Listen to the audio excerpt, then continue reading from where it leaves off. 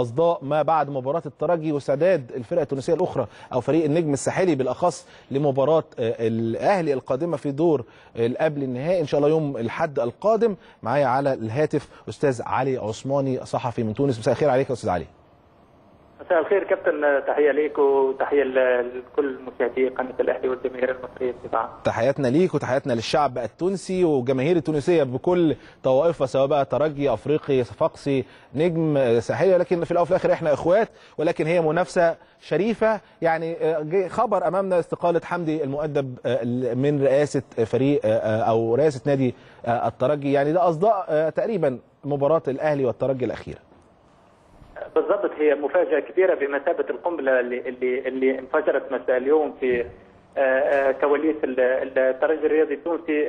أمس البارحه يعني في الساعة متأخرة كان تسربت لنا أخبار يعني بصفة بنسبة كبيرة انه الترجي بنين سينهي علاقته بالمدرب فوزي البزرتي بالتراضي لأنه تعرف في عقد فوزي البزرتي كان من بين البنود في العقد يعني يصل على أقل شيء نصف نهائي دوري الأبطال. يعني ما وصل يعني بصفة أوتوماتيكية يتم إلغاء التعاقد بين الطرفين.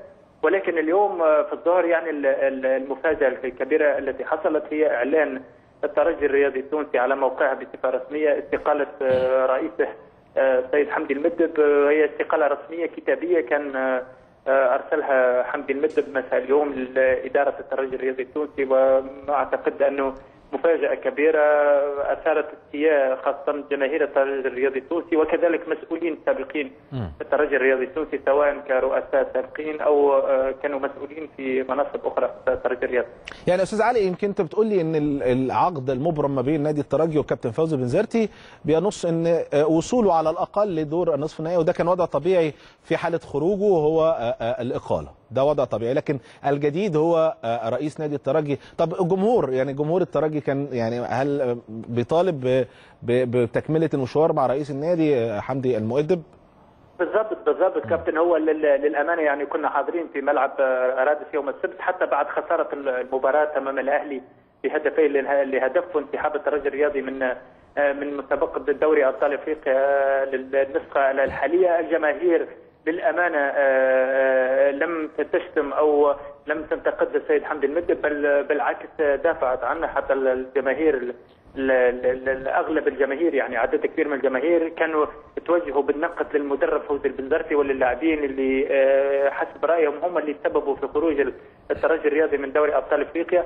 بالعكس رئيس الترجي الرياضي التونسي ممكن استقال لأنه يعني وهذا المرجح يعني بنسبة كبيرة جدا استقال يعني بصفة شخصية دون ضغوطات دون أي شيء لأنه هو كان يضع دوري أبطال أفريقيا كهدف أول بالنسبة لي وبالنسبة للجماهير الترجيه اللي طالب فيه دائما بالفوز بلقب دوري أبطال أفريقيا لأنه تعرف الدوري المحلي البطولة التونسية وكأس تونس صارت من التتويجات العادية بالنسبة للترجي الرياضي صحيح. منذ سنوات عديدة.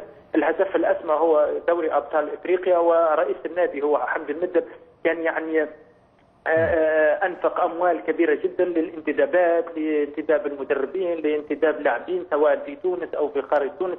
يعني كان كان كان وضع يعني الهدف الأول لدوري أبطال إفريقيا ولكن لما صارت الخيبة الكبيرة غير المتوقعة بالنسبة للنتيجة يعني. فنعرف الفريق الأهلي فريق كبير وكان يستحق المرور إلى دور نصف النهائي هذا ما في شك. ولكن على ضوء نتيجة الذهاب يعني صار استياء كبير يعني لما الترجي يتعادل 2 2 في مصر وبعدين ينهزم في تونس 2 1 بتلك الطريقة أثار استياء على ما أعتقد أنه في في في في نفس سيد حمدي المدب ولهذا قرر استقاله على الأقل رسمية إلى حد الآن في انتظار تطورات أخرى ربما تحدث خلال الساعات المقبلة لأنه في حديث أنه مثلا رئيس الترجي الرياضي التونسي السابق سليم شيبوب اللي هو رئيس شركة للترجي الرياضي أعلن أنه سيجتمع بحمد المدب خلال الساعات القليلة المقبلة وأكيد أنه سيتم مناقشة أو دراسة هذه الاستقالة. ربما سيحاول أكيد تراجع. كبار المسؤولين وكبار الترجي الرياضي التونسي إثناء حمد المدب عن قراره والعودة لرئاسة الترجي الرياضي التونسي. يعني أكيد زي ما إحنا قلنا هي كانت مباراة زي ما بنقول نهائي مبكر في هذا الدور لكن طبعا يعني تفوق النادي الأهلي في هذا الدور وانتقاله للدور الآخر. ده عايز أكلمك بقى على المباراة الأخرى أيضا فريق تونسي آخر بيواجهه النادي الأهلي في أقل من 10 أيام. يعني الأصداء نفسها والاستعدادات نفسها في النجم بقى الساحلي ويمكن تفوق في مباراته الأخيرة بشكل كبير بهدفين مميزين لعمرو مرعي أيضا لاعب مصري هيواجه فريق النادي الأهلي. يعني قول لي كده التفاصيل الخاصة طبعا بفريق النجم واستعداده خصوصا طبعا إن لسه النادي الأهلي مخرج شقيق ليه في الدوري التونسي هو فريق الترجي. بالضبط هي مباراة النجم الساحلي والأهلي المصري ستكون مباراة حماسية جدا مباراة مثيرة سيكون فيها تنافس قوي من الجانبين. الأهلي يمر يعني بمعنويات كبيرة خاصة بعد تحقيق الترشح على الترجي الرياضي. وبقائه في تونس يعني حتى يضمن الراحة للاعبيه والاستعداد جيدا جيدا لمباراة الأحد المقبل أمام النجم. النجم أيضا معنوياته مرتفعة. بعد تخطي الأهلي تترابلس اللي هو كان تأهل منتظر يعني حكم قيمة النجم وخبرته في في في الكؤوس الإفريقية. النجم مصمم حسب يعني تصريحات مسؤوليه وإطاره الفني ولاعبيه يعني مصممين على تحقيق نتيجة جيدة في مباراة الذهاب يعني الانتصار نقصد الانتصار على الأهلي حتى يضمن بنسبة كبيرة التأهل إلى النهاية تعرف المباراة العودة أيضا ستكون مباراة هامة ومباراة حاسمة ولكن النجم الساحلي يسعى لضمان يعني خطوة كبيرة منذ مباراة الذهاب.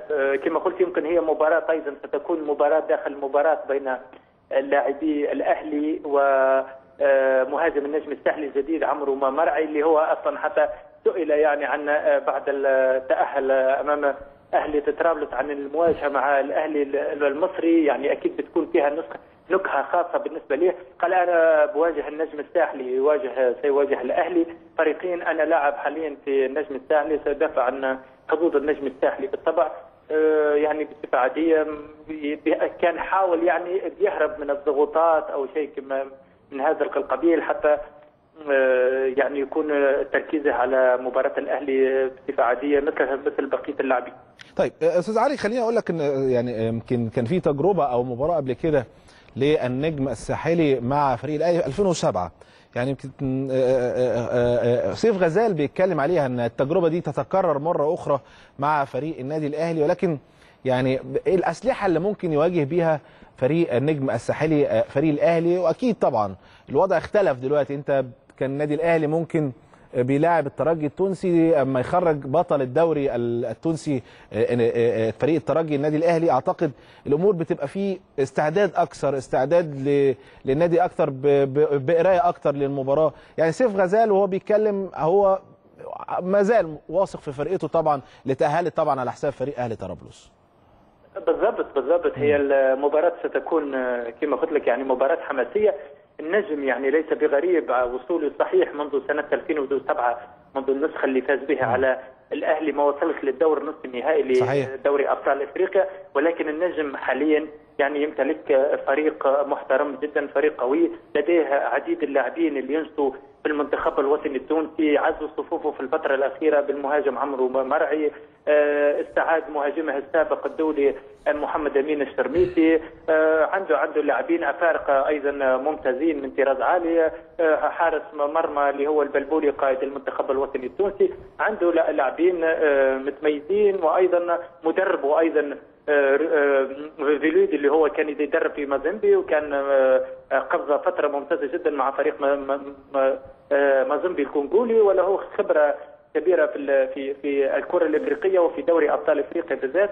يعني أعتقد أنه النجم قادر على المنافسة بشدة مع فريق الأهلي والذهاب بعيدا في هذه البطولة. وما ننساش أيضا صحيح الأهلي يعني الترجي الأهلي فاز على الترجي اللي هو بطل ولكن المنافسة السنة اللي فاتت كانت بين الترجي والأهلي حتى آخر جولة على لقب البطولة التونسيه والنجم الساحلي كان هو الثاني الترتيب السنة الماضية في البطولة في آخر جولة حسمها الترجي لصالحه في مرحلة البلاي يعني بالتأكيد أنه مباراة ستكون قوية وستكون حماسية. أنا أعتقد أنه الفريقين ينطلقوا بحظوظ متساوية 50% 50% نعرف أيضا الأهلي للأمانة يعني هذا انطباعنا هنا في تونس ولا لكل المتابعين بشأن الأهلي هنا أنه فريق الأهلي ليس في أفضل حالاته في الفترة الأخيرة تعرف من من نهاية السنة الماضية ولكن فريق الأهلي يبقى فريق كبير ولو خبرة عنده لاعبين ممتازين عنده